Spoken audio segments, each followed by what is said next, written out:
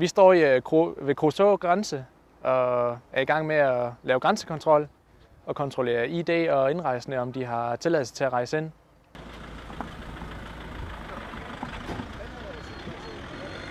Jeg synes, reaktionen fra bilisterne har været rigtig positiv.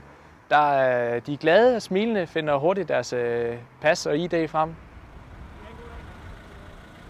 En del af opgaven går ud på at kontrollere øh, pas, indrejsedokumenter, at de er, som de skal være. Det er også en, har også været en del af uddannelsen, hvor vi har fået noget undervisning i, hvordan ægte dokumenter ser ud, hvilke forfalskninger, typer der findes, sådan nogle ting, som man kan kende, kende de, de rigtige fra de, fra de falske dokumenter.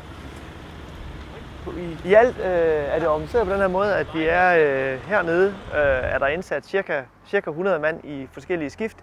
Udover det har hjemme, støtter hjemmeværnet øh, politiet med en styrke i øh, forhold til logistik, øh, bevogtning af søgårdlejren med videre.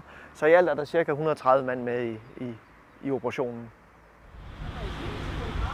Og det ligner også. Ja. Det er en god dag.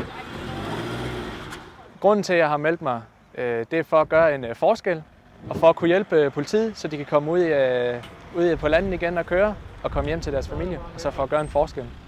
Der, der var lige lidt logistiske problemer til morges, øh, men det er blevet rettet. Øhm, det er super spændende arbejde, og jeg glæder allerede til at komme ned igen i morgen.